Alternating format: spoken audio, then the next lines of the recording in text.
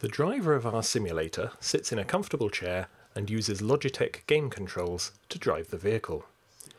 Mounted in the ceiling above him are six projectors, and our warping and masking software combines their images to produce a single high resolution display.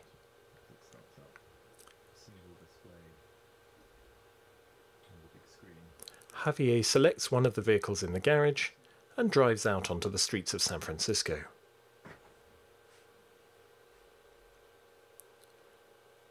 The simulator is fun, but empty streets, or those containing only a few vehicles with pre-programmed routes, are less engaging for the driver than a real-life situation. Using a button on the steering wheel, Javier has turned on a new recording feature. This keeps track not only of his course and speed, but also of his use of controls such as the turn indicators.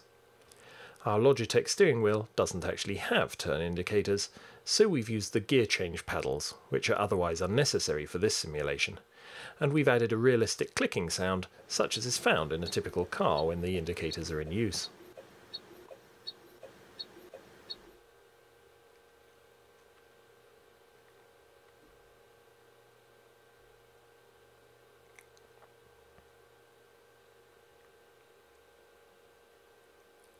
A user driving in the same area on future occasions will see new vehicles following the course of earlier recordings.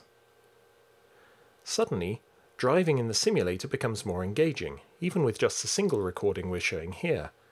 It feels as if there are real humans around you, whose behaviour is unpredictable and they demand your attention.